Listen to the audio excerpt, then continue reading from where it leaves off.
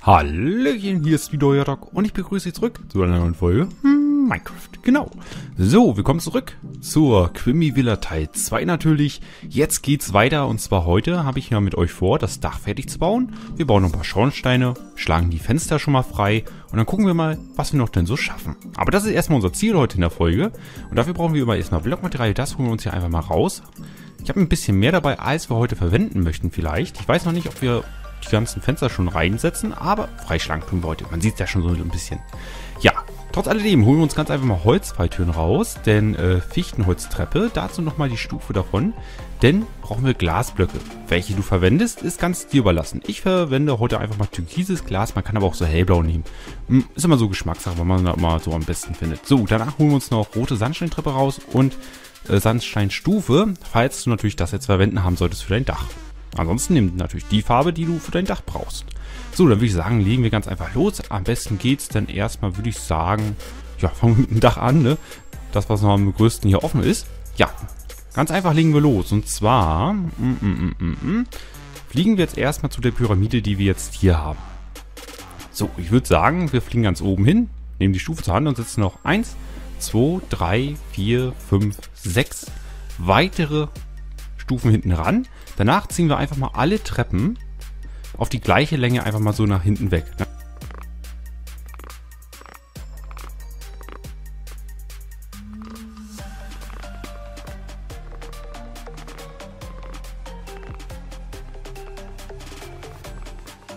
So, haben wir das einmal nach hinten weggezogen sechsmal. Ist dir gerade aufgefallen, ich habe noch was anderes jetzt gemacht. Huch, was hat er jetzt gemacht?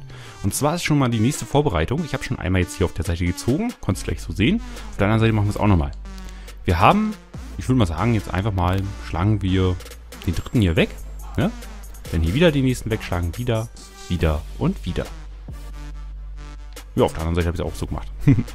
so, das machen wir einmal blub, den überschüssigen Teil hier mal kurz weg.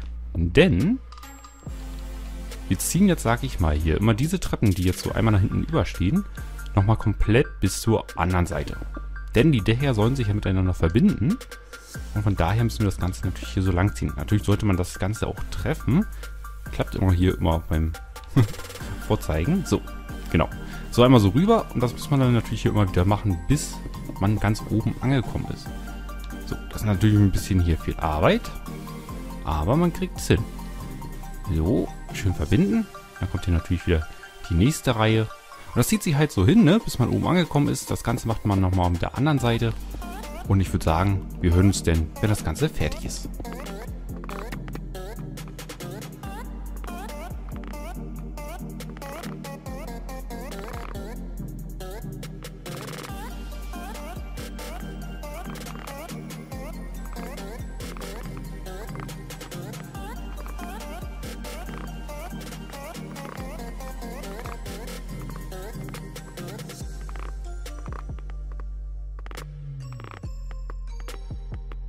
Haben wir das Dach fertig, kommen wir gleich zum nächsten Schritt, also wenn wir natürlich hier die Vorderseite haben.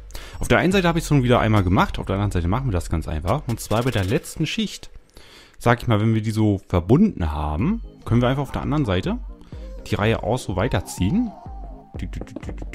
So, das war's dann aber auch, weil denn bei der letzten Schicht machen wir einfach auf der anderen Seite auch eine Treppenschicht hin, die natürlich dann in die andere Seite Richtung, sag mal, so ein bisschen runter guckt.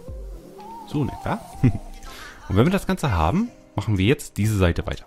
Aber vorab, wir können, obwohl nee, ich glaube, das geht besser, wenn wir jetzt so einfach anfangen. Und zwar, wir fangen jetzt nicht oben an, oder wäre oben besser?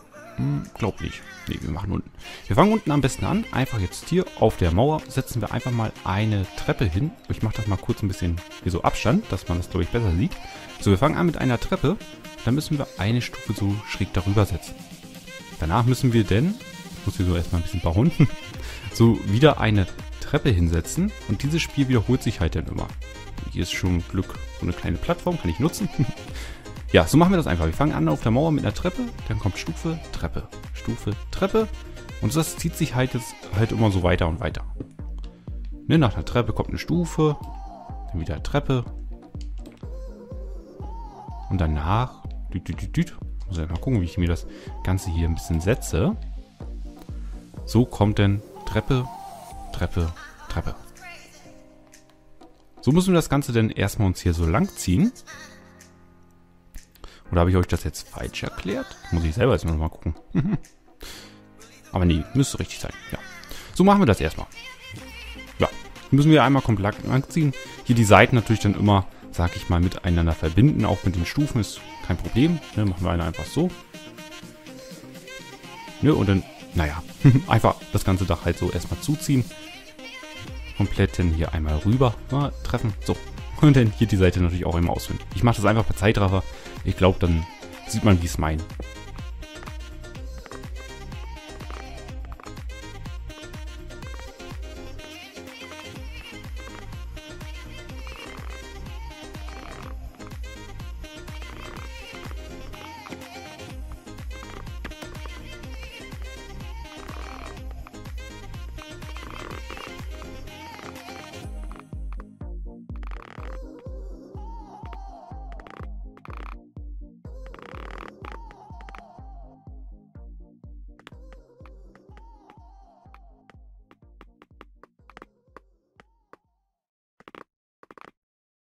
So, bei mir ist das ganze Dach fertig. Ich hoffe, bei dir sieht das Ganze auch in etwa so aus. Oder genauso, hoffe ich mal. Ja, wenn wir das Ganze geschafft haben, müssen wir jetzt noch ein paar Schornsteine setzen. Das ist natürlich die Frage, wo kommen die ganzen hin? Ich habe schon Glück mir das Ganze markiert. Muss ich mal kurz, warte mal, ich bereite das kurz einmal vor. Aha, so, einmal vorbereitet. ich glaube, das ist besser. Ja, so, ich habe das Ganze mir ja schon markiert. Jetzt müsstest du natürlich noch die gleiche Stelle finden. Da ist natürlich die Frage, wo fängt man an, sich zu orientieren. Ich würde mal sagen, hm, die Fenster haben wir noch nicht. Mal gucken, wie machen wir das? Wir suchen einfach mal die Mitte. Die Mitte haben wir hier oben. Sag ich mal, wir fliegen wieder hier zu unserer Pyramide hin. Ne, hier oben zur Spitze, wo die Stufen sind. Düt, düt, düt, düt. Und dann gehen wir einfach mal. Jetzt habe ich gar nicht... Hm, warte mal, wir zählen einfach hier, haben wir eine Treppe, ne? Hier haben wir eine Treppe. Da gehen wir aber mal zur Seite 1, 2, 3, 4, 5, 6, 7, 8. So, bei, bei, der, bei der achten Treppe zur Seite weg gehen wir denn 1, 2, 3, 4 Blöcke runter. Hier müsste dann eine Treppenschicht bei dir sein. Diese Treppenschicht einmal kurz wegschlagen, nimmst du nochmal weißen Beton zur Hand, schlägst hier zwei rein. Hier wäre dann der äh, neunte, ne? Zack, machst das hinten auch nochmal. Das heißt dann hier einfach zwei Stufen weghauen. So, auf der anderen Seite auch nochmal. Wir sehen nochmal. Dann können wir äh, ja nochmal sicher gehen. Zur Seite weg, ne? Eins, zwei, drei, vier, fünf, sechs, sieben, acht. Beim 8. dann 1, 2, 3, 4 runter, ne? Müsste dann hier vielleicht eine Treppenschicht sein. Ne, beim 8. weißen Block hin, hier nochmal und beim 9. einen hin. Dann schlagen wir hinter die Stufen weg. Ne, dann haben wir hier so eine Vierer-Schicht. So, jetzt müssen wir das natürlich alles noch hochziehen. Da ist dann die Frage, wie hoch hatten wir denn die anderen? Dann können wir so ein bisschen gucken. Hm, ja, so. Das heißt dann noch 1, 2, 3, 4 Blöcke rauf. Das müssen wir natürlich hier zweimal machen und schon sind die Schornsteine an sich hier auch erstmal fertig. So, auf der anderen Seite auch nochmal. Du kannst die Schornsteine natürlich auch natürlich noch ein bisschen versetzen, wenn du meinst, okay, der ist mir doch ein bisschen äh, zu dicht an der Seite, kannst du noch eine Blockschicht mehr nach innen gehen oder weiter nach außen. Da haben wir halt Spielraum. So, jetzt müssen wir gucken. Ich glaube, den habe ich einmal ein bisschen zu hoch gemacht. Machen wir noch mal ein bisschen niedriger. Vielleicht mache ich die auch noch höher. Naja, mal gucken. Aber ich lasse erstmal so. Ja, dann haben wir das Dach schon so gut wie fertig. Also jedenfalls oben sieht schon mal gut aus. Jetzt müssen wir es natürlich noch ein bisschen verfeinern. Das heißt, wir nehmen einfach mal die Treppen zur Hand und haben eine Aufgabe. Und zwar das Ganze noch ein bisschen überstehen lassen, das Dach. Denn so sieht es, also so gefällt es mir noch nicht so richtig. Das heißt, wir müssen noch ein bisschen überstehen lassen. Wir fangen an den Seiten erstmal am besten an. So, hier geht's los. Hier setzen wir eine Treppe einfach mal ein bisschen über. Hier das Ganze so weit ziehen, dass es äh, allgemein übersteht einmal. Und dann hier das Dach an sich überall einmal so vorsetzen. Das zieht sich halt so ein bisschen lang ne, bis wir einmal rum sind. So, ich labe noch ein bisschen hier, bis wir hier zu dieser Senke kommen. Denn hier möchte ich dir auch noch was sagen. Und zwar hier setzt natürlich nicht so einfach Treppen unten hin, sondern machst ganz einfach vor den Stufen noch eine weitere Stufenschicht hin. Zack, zack, zack. So machst du das Ganze. Ja, bis wir dann, sag ich mal, hier natürlich oben auch wieder angekommen sind.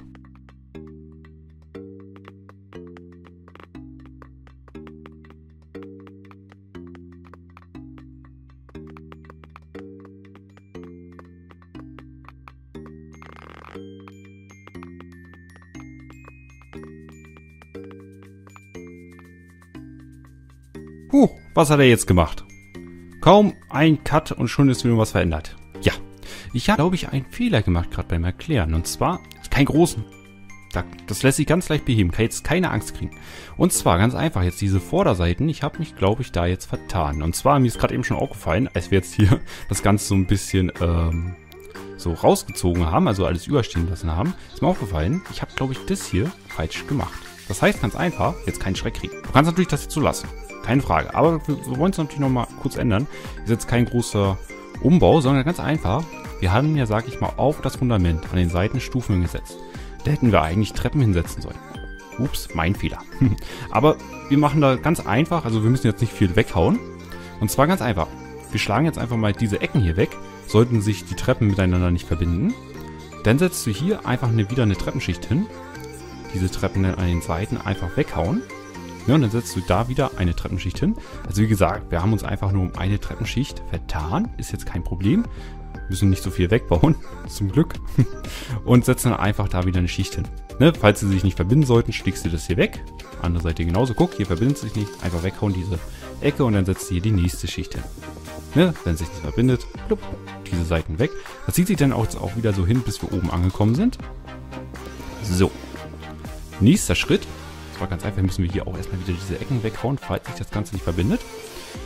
Danach setzen wir nicht denn eine weitere Schicht hin, sondern ganz einfach auf diese eine Treppenreihe, die musst du jetzt nicht weghauen, da setzt du einfach eine Stufenschicht hin.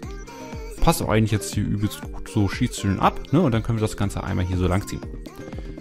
Kleiner Fehler von mir, aber ich glaube, lässt sich gleich beheben, ne? Wie gesagt, hast jetzt auch gesehen, äh, ging relativ fix, ne? Andere Seite genauso. Einfach nur eine Treppenreihe auf, die, auf das Fundament setzen und dann einfach immer wieder eine rauf, rauf, rauf. Und an den Seiten stickst halt, dass das Ganze ineinander geht. Und dann sollte es so aussehen. Ich finde, das sieht viel schöner aus. Kleiner Fehler, aber schon behoben. Okay, so kommen wir jetzt dann einfach zum nächsten Schritt. Und zwar haben wir das Dach an sich natürlich jetzt fertig. Und jetzt müssen wir natürlich noch die ganzen Fenster reinhauen. Ich würde sagen, wir fangen mit den Seiten an. Weil ich finde die irgendwie leichter, weil wir hier nur vier Fenster haben und nicht so viele. Wir fangen unten bei unserem Schornstein einfach mal an. Die unterste Reihe ignorieren wir und beginnen ab der zweiten. Da lassen wir vom Schornstein eine Reihe Platz und schlagen dann 1, 2, 3, 4, 5 Blöcke weg. Das Ganze auf eine Höhe von 3 insgesamt. Andere Seite genau synchron. Machen wir es auch nochmal. Den ersten Block in Ruhe lassen, den untersten in Ruhe lassen und dann einfach 1, 2, 3, 4, 5 Blöcke weghauen. Das Ganze auf eine Höhe von 3 insgesamt hauen. Zack, und dann haben wir hier schon mal zwei Fenster drin. Gehen wir eine Ebene höher. Hier genau das gleiche Spiel. Wir lassen einfach die unterste Reihe in Ruhe, die erste Reihe an der Seite auch. Und dann schlagen wir hier drei Blöcke weg auf eine Zweierhöhe. Auf der anderen Seite auch nochmal drei wegschlagen, auch hier eine Zweierhöhe. Und dann haben wir dahinter vielleicht noch Fundament. Ne, das schlagen wir einfach weg. So einfach durchhauen. So, andere Seite genau das gleiche Spiel, das Fundament hier einmal dahinter weghauen. Super. So, jetzt fliegen wir dann einfach mal mh, hm, auf diese Seite hier. Obwohl, nee, Quatsch. Wir wollten doch erst die Seiten machen. Sag mir das doch. Genau, auf der anderen Seite müssen wir natürlich dann auch erstmal das gleiche Spiel machen, damit wir das, jetzt sage ich mal, nicht so schnell vergessen. machen wir das einfach mal. Auf der anderen Seite genau das gleiche Spiel. Ne? Vom Schornstein aus erste Reihe in Ruhe lassen, unterste und dann 1, 2, 3, 4, 5 Blöcke weg und auf eine Dreierhöhe. Eine andere Seite genau das gleiche Spiel, also ist eigentlich immer synchron. Bei der Vorder- und Rückseite sind so ein paar kleine Unterschiede dabei. So, hier oben dann auch nochmal, ne? Nicht vergessen, denn hier auch das Fundament dahinter weghauen. Also eigentlich hier kann man sagen, diese Mitte, die schlagen wir komplett einmal frei, so dass ringsrum dann einfach ein weißer Rahmen ist. Jo, so dann haben wir die Seiten fertig und kommen ganz einfach mal zur der Vorderfront. Wir fangen natürlich an von links nach rechts, ne, so wie man liest. Hm, würde sagen, fangen wir von, von unten nach oben arbeiten wir uns. Ja, so geht's los. Also wir fangen hier wieder an der Seite an, auf der linken Seite lassen an der Seite, also die unterste Blockschicht lassen wir immer in Ruhe, ne? Hier von der Seite an lassen wir einfach zwei Blöcke Platz und dann schlagen wir 1, 2, 3, 4, 5 Blöcke weg auf eine Zweierhöhe insgesamt. Dann haben wir darüber noch so eine Zweier Blockschicht. So, dann lassen wir wieder zwei Blöcke, also zwei Blöcke frei und schlagen dann 1, 2, 3, 4, 5, 6, 7, 8, 9 Blöcke weg. Das Ganze machen wir auf eine Dreierhöhe sollten unten eine Blockschicht haben und oben, ja, sagen wir eine oder zwei. Wir haben ja hier so, so ein kleines Dach darüber. So, danach haben wir hier noch zwei Blöcke und kommen wir dann, sage ich mal, hier, wo unser Eingang ist. Hier können wir die Mitte einmal suchen, ganz einfach von den Säulen aus. Ne? Wir haben ja hier so fünf Blöcke, ne? hier ist unsere Mitte. Können wir dann zack einmal hier komplett wegschlagen. Das Ganze machen wir dann so auf eine Dreierhöhe und Dreierbreite. Und schon haben wir für unseren Eingang schon mal freigehauen. Auf der anderen Seite geht es hier weiter. Eigentlich gleiches Spiel, wie wir angefangen haben. Ne? Wir lassen erstmal hier zwei Blöcke frei. Und dann 1, 2, 3, 4, 5, 6, 7, 8, 9, ups, 9 Blöcke einfach mal zur Seite weghauen. Das Ganze hier natürlich auch wieder auf eine Dreierhöhe. So müssen wir natürlich hier das alles einmal frei hauen. So in etwa. Und dann geht es hier weiter. Erstmal lassen wir zwei Blöcke wieder Platz und schlagen 1, 2, 3, 4, 5 Blöcke weg. Sollten wir noch zwei haben. Und schlagen hier einfach noch eine zweite Reihe rauf. So. genau, wenn wir das haben, geht es jetzt einmal höher. Und hier fangen wir auch wieder an der Seite an. Die erste Reihe immer in Ruhe lassen. Ne? Von der Seite lassen wir zwei Blöcke wieder Platz. Und dann 1, 2, 3, 4, 5, 6, 7, 8, 9 Blöcke hier einmal wieder äh, wegschlagen. Das Ganze hier natürlich auch wieder auf eine Dreierhöhe insgesamt. So in etwa. Wenn wir das haben, lassen wir wieder zwei Blöcke Platz. Ne? Und dann wieder 1, 2, 3, 4, 5 Blöcke weghauen. Auch hier wieder alles auf eine Dreierhöhe. Dann haben wir hier zwei Blöcke noch und kommen hier zum vorderen Teil. Hier, ich glaube, man sieht es schon gut, ne, machen wir wieder so wie so einen Rahmen, ne? Können wir einfach einmal die Mitte hier komplett weghauen. Dahinter sollten wir noch ein Fundament haben, das schlagen wir bitte auch noch einmal weg. So, kommen wir hier wieder zur Seite. Unten lassen wir immer in Ruhe, ne? Und von der Seite lassen wir auch zwei Blöcke erstmal wieder in Ruhe. Und schlagen dann hier 1, 2, 3, 4, 5 Blöcke weg. Das Ganze hier auch wieder auf eine Dreierhöhe. So, dann lassen wir wieder zwei Blöcke Platz und dann wieder 1, 2, 3, 4, 5, 6, 7, 8, 9 Blöcke weghauen. Auch hier wieder alles auf eine Dreierhöhe. So, müssen wir alles freischlagen. Super. Okay, wenn wir das Ganze haben, geht es jetzt hoch zu unseren drei Pyramiden. Eigentlich immer das gleiche Spiel. Wir können uns hier ganz einfach mal von unserem Fenster hier unter ausrichten. Wir haben hier eine schöne Mitte. 9 ist das ganze Jahr lang, ne? finden wir hier gleich die Mitte. Und von der Mitte aus gehen wir einen so nach oben, zack, puff, machen hier so, sag ich mal, fünf Blöcke rauf. Also fünf Blöcke schlagen wir so frei. Das du dann natürlich auch wieder hier auf eine Dreierhöhe. Sollten denn jeweils zu den Seiten noch drei Blöcke haben, ne? wo das Dach dann halt natürlich anfängt. Das machen wir jetzt jedes Mal. Wir können natürlich auch vom Dach ausgehen. Ganz einfach gesagt, 1, 2, 3. Beim vierten schlagen wir dann hier 5 weg. Ne? Und dann sollten hier auch nochmal 3 sein. Die Fenster kommen immer auf eine Dreierhöhe. Und dann sind wir eigentlich schon bei der letzten Pyramide hier angekommen. Auch hier wieder darauf achten, ne? drei Blöcke an der Seite, fünf Blöcke wegschlagen, kontrollieren, haben wir hier noch äh, drei Blöcke. Dann können wir hier das Ganze auf äh, drei Blöcke insgesamt alles hier freischlagen. So, dann haben wir die Vorderseite schon mal freigeschlagen. Kommen wir jetzt einmal zur Rückseite. So, wir fangen natürlich erstmal wieder unten an ne, und arbeiten uns so langsam hoch. Von der Seite hier, ne? Wie immer lassen wir die unterste Reihe in Ruhe. An den Seiten lassen wir wieder zwei Blöcke Platz und schlagen 1, 2, 3, 4, 5 Blöcke hier einfach mal frei. Auch wieder auf eine Zweierhöhe. Dann lassen wir wieder zwei Blöcke hier an sich Platz und dann wieder 1, 2, 3, 4, 5, 6, 7, 8, 9 Blöcke wieder langschlagen. Ne? Und dann auch hier wieder alles auf eine Dreierhöhe. Haben wir auch das geschafft? Geht's weiter. Jetzt kommen wir ja, sag ich mal, hin zu unserer Terrasse hin. Da lassen wir einfach wieder zwei Blöcke Platz, schlagen dann zwei Blöcke an sich weg ne, und das Ganze auf eine Dreierhöhe. Dann lassen wir einen Block Platz und schlagen hier drei Blöcke weg. Das Ganze auch hier wieder auf eine Dreierhöhe. Dann wieder einen Block Platz lassen und zwei Blöcke weg, auch hier wieder auf eine Dreierhöhe. Dann wieder zwei Blöcke Platz lassen und 1, 2, 3, 4, 5, 6, 7, 8, 9 Blöcke weghauen, auch hier du weißt es, auf eine Dreierhöhe. Puh, jetzt kommen wir schon zum letzten Fenster unten. Auch hier wieder zwei Blöcke ne? Platz lassen und 1, 2, 3, 4, 5 Blöcke wegschlagen und hier dann auf eine Zweierhöhe. Jo, wenn wir das geschafft haben, geht es einen Stockwerk höher und wir gehen wieder von der Seite aus. Ne, da lassen wir wieder zwei Blöcke Platz. Dann 1, 2, 3, 4, 5, 6, 7, 8, 9 Blöcke weg und Dreierhöhe. So, geht's weiter. Lassen wir wieder zwei Blöcke Platz und schlagen hier 1, 2, 3, 4, 5 Blöcke weg. Und auch hier Dreierhöhe. So, kommen wir jetzt hier zu diesem vorderen Teil. Ne? Eigentlich genauso wie auf der Vorderseite. Ne? Wir lassen hier einfach so einen Rahmen. Die Mitte können wir einmal weghauen. Das sind natürlich zwei Blockschichten. Und dann dahinter natürlich das Fundament auch nochmal weghauen. Haben wir das denn geschafft, geht es hier auf der anderen Seite weiter. Gleiches Spiel, wie wir es jetzt da hatten. Sind auch eigentlich, glaube ich, die gleiche Abmaße wie vorne. Von daher einfach hier zwei Blöcke ne? Platz lassen. Dann schlagen wir 1, 2, 3, 4, 5 Blöcke weg. Dreier Höhe, ne? Nicht vergessen. Und dann wieder zwei Blöcke Platz lassen. Und dann 1, 2, 3, 4, 5, 6, 7, 8, 9 Blöcke weghauen. Auch hier immer noch eine Dreierhöhe.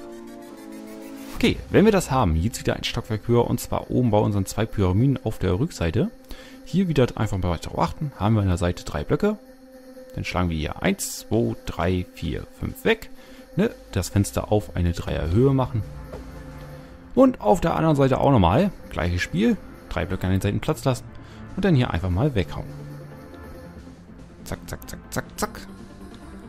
So, optimal. Okay, wenn wir das Ganze haben, geht es weiter und zwar erstmal mit den roten Sandsteintreppen. Ja, wir fliegen jetzt einfach mal zu den Fenstern hin, die wir nur auf eine Zweierhöhe haben und zwar auch nur unten die. Die oberen, die interessieren uns erstmal nicht. Bei diesen unteren haben wir insgesamt vier dieser Fenster. Hier schlagen oder setzen wir eher äh, rote Sandsteintreppen hin und lassen an den Seiten, wo das Fenster denn so endet, die Treppen anecken. So, das Ganze müssen wir noch dreimal machen.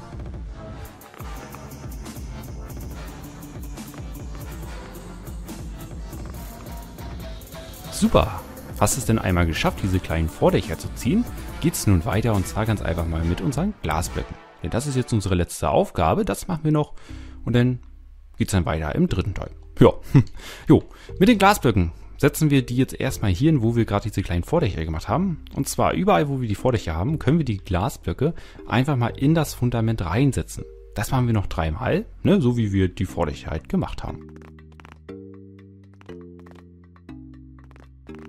So, auf der Rückseite stehe ich nun. Wir haben jetzt diese Glasblöcke bei diesen kleinen Vordächern reingesetzt. Die nächste Aufgabe ist ganz einfach mit den Glasblöcken.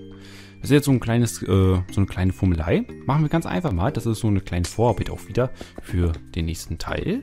Und zwar setzen wir die Glasblöcke einen Block nach hinten versetzt, also nicht ins Fundament rein, sondern einfach mal einen so nach hinten, äh, bei allen anderen Fenstern. Außer bei unseren Eingängen. Das wäre zum Beispiel einmal den hier. Ich setze da einfach mal jetzt einfach eine Sandsteinstufe hin als Markierung. Und hier. Bei diesen zwei braucht ihr erstmal nichts reinsetzen von den äh, von Glasblöcken. Da nicht. Aber bei allen anderen Öffnungen jetzt hier bei unserem Gebäude kannst du einfach mal dir die Glasblöcke schnappen und sie einmal so nach hinten versetzt reinsetzen. Ich mache hier gleich einen kurzen Cut rein, damit du dir das Ganze dann nochmal ansehen kannst, ne, wie das Ganze aussieht, wenn die ganzen Glasblöcke einmal nach hinten versetzt sind. Schwuppdiwupp ist bei mir das Ganze fertig. Aha, jetzt bin ich mal gespannt, wer das Video angehalten hat oder diese eine Sekunde sich jetzt noch anguckt. Denn bei den Fenstern, ich weiß nicht, ob du die jetzt auch schon gezogen hast, aber ist dir vielleicht aufgefallen, dass wir, sage ich mal, ein paar Fenster haben, wo wir das Fundament hinten weggehauen haben? Ja, na denn kannst du da natürlich auch die Blöcke reinsetzen. Da musst du natürlich nicht die Blöcke nochmal einmal weiter nach hinten setzen, weil ist ja so an sich ja einmal nach hinten weiter reingesetzt. Ne? Von daher kannst du sie aufs Fundament setzen. das wollte ich nur sagen. Aber nur bei denen, wo wir dahinter auch das Fundament weggehauen haben. Ne, kannst du hier einfach die Glasblöcke so einmal reinsetzen. Jo, und dann sind wir fertig für die heutige Folge. Wir haben wieder viel geschafft, sind schon mal die Fenster ein bisschen drin. Ne? Im dritten Teil, den du natürlich in der Videobeschreibung findest, machen wir die Fenster an sich fertig. Die werden dann noch ein bisschen optisch verschönert und ein bisschen Grünfläche kommt ran. Das heißt, wir machen ein paar Büsche vorne ran, so halt diese Dekoration, die noch ein bisschen rum muss. Wie natürlich die Türen werden noch gebaut und für die neue Version habe ich eine eigene Version und für die alte Version habe ich eine eigene Version, wie die Tür aussehen kann und funktionieren kann. Sei gespannt auf den nächsten Part. Ansonsten stelle ich mich hier hin. Obwohl, warte noch. Ich glaube, im nächsten Part wird auch der Weg fertig sein. Den muss ich, glaube ich, dann schon fertig ziehen. Mal gucken, wie ich das mache. Aber wir haben ja so an sich das Haus jetzt hier so stehen. Da kann man so ein bisschen gucken, wie das Ganze so wirkt. Wie weit man die Mauer weghauen muss. Naja, gucken wir mal. So, aber als im nächsten Part, das heißt, denn hier stelle ich mich erstmal hin. Wir sehen uns im nächsten Teil wieder. Also dann, haut's rein und jo, tschüss.